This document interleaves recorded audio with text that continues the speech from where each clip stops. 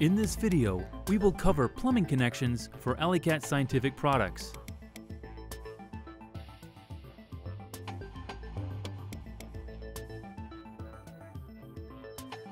Let's begin with an overview of the tools you'll need to complete the installation. Your Alicat instrument, an Alicat inline filter, Teflon tape, appropriately sized fittings, an adjustable wrench, and a properly sized open-ended wrench.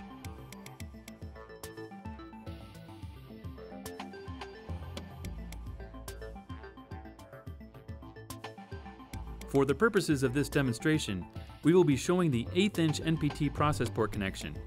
Please note the process port size of your device when ordering accessories such as filters or fittings. To install fittings, first remove any red plugs from the process connection ports.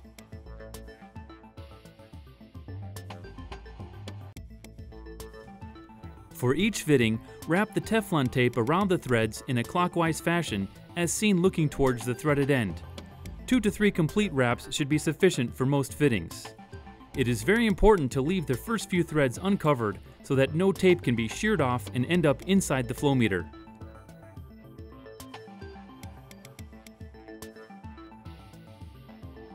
In the case of the 1032 to 8th inch NPT adapter, no Teflon tape is recommended Screw in the adapter clockwise until finger tight. Do not use wrenches for this application. When installing a factory supplied inline filter, follow the general procedure for Teflon tape application. Then, screw the filter clockwise into the inlet of your instrument. Tighten the filter using two wrenches, one to hold the inlet port block and the other to rotate the filter until tight. Do not use the black valve assembly as leverage when tightening. Take care not to over tighten this filter or any fittings used on your Alicat product.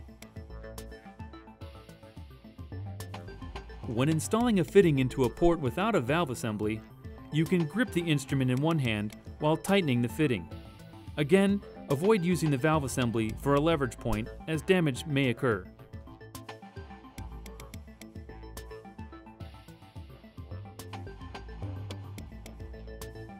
When connecting tubing to your fitting, follow the manufacturer's recommended installation instructions. For the purpose of this video, we are using a compression style fitting and the corresponding plastic tubing.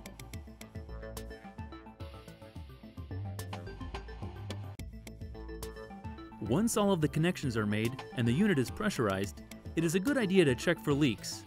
Liberally apply a soap and water solution to the fitting area. Bubbles will indicate that a leak is present and must be dealt with. Once the adjustment has been made, retest the connection to make sure no bubbles are present under pressure. In reviewing the key points in the video, please note the following. Ensure you have all necessary parts prior to starting the installation. Be mindful of proper Teflon tape application. Do not over-tighten the filters or fittings. Do not use a control valve as leverage when installing these fittings. Leak check all connections using a soapy water solution. Thank you for watching this Alicat Scientific video presentation on plumbing connections.